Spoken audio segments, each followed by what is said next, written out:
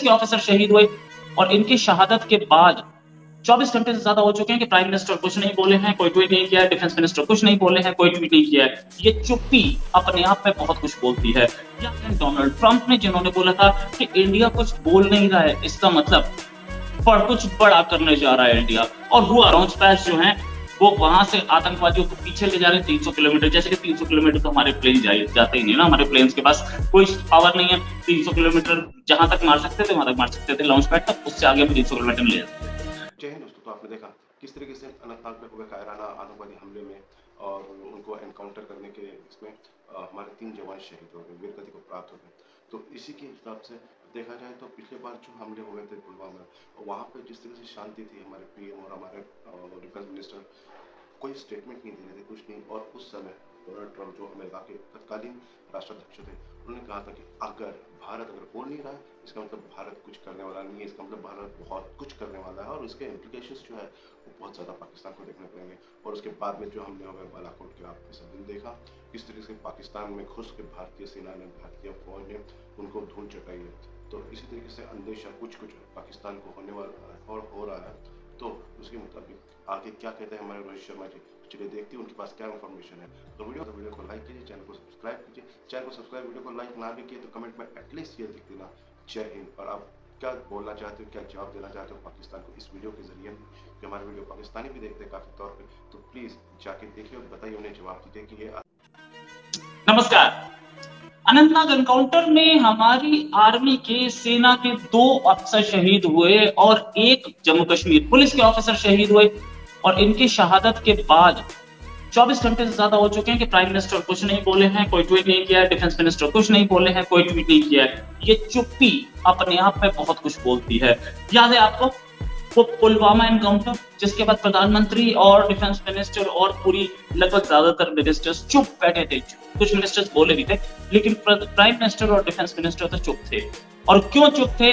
इसकी एनालिसिस की थी उस समय के अमेरिकन प्रेसिडेंट डोनाल्ड ट्रंप ने, जिन्होंने बोला था कि इंडिया कुछ बोल नहीं रहा है। इसका मतलब पर कुछ बड़ा करने जा रहा है इंडिया और हुआ भी।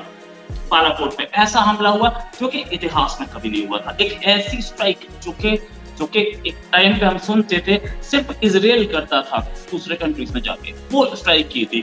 इस बार भी चुप हैं प्रधानमंत्री और डिफेंस मिनिस्टर कुछ तो गड़बड़ है। साथ में बालाकोट जैसी स्ट्राइक की अटकलें लग रही हैं। ये अटकलें भी लग रही हैं कि कहीं सर्जिकल स्ट्राइक हो सकती है, कहीं पे सीधा निशाना लिया जा सकता है। पाकिस्तान इन अटकलों पे, पाकिस्तान में हमारे चैनल देखता है न्यूज़ चैनल भी देखता है यूट्यूब चैनल भी देखता है, मेरे चैनल भी पाकिस्तान के लोग देखते हैं। उनको भी पता लग रहा है कि हो क्या सकता है। घबरा गया है बॉर्डर पे जो लॉन्च पैस थे, उनको पीछे करना शुरू कर दिया। तीन सौ चार सौ किलोमीटर पीछे ले गए हैं।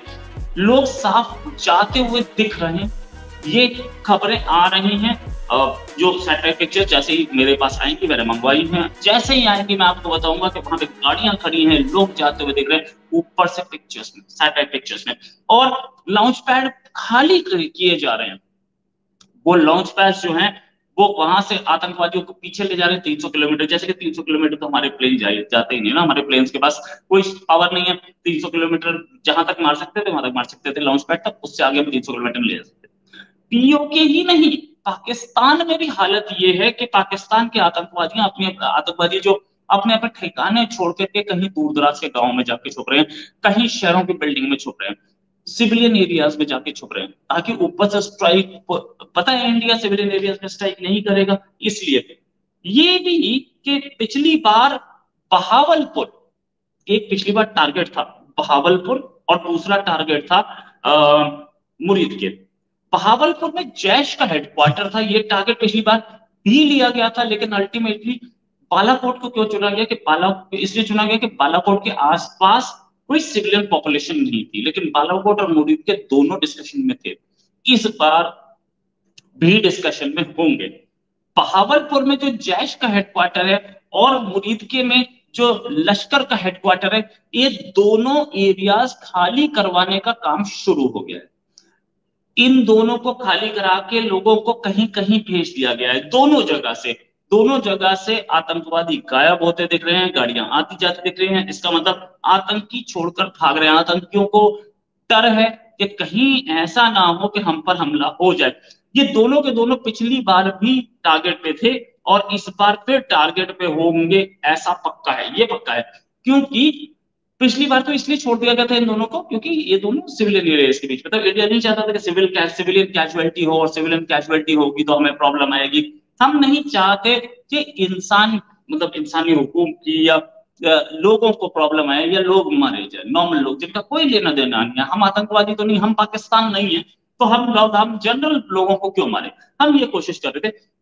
लेकिन अब की बार शायद इंडिया का कंसिडरेशन वो ना तो पाकिस्तान की आर्मी में बातें चल रही हैं मीटिंग्स चल रही हैं कांस्टेंट बातचीत चल रही है कि हमें करना क्या है आईएसआई के लोग इन लोगों को कहीं पीछे ले जा रहे हैं, ऐसा पता लग रहा है। वो आर्मी हेडक्वार्टर में जो मीटिंग्स चल रही हैं, उनसे पता चलता है कि पाकिस्तान सीरियसली कहीं पे पाकिस्तान ओवर रिएक्शन नहीं दिखाना चाहता।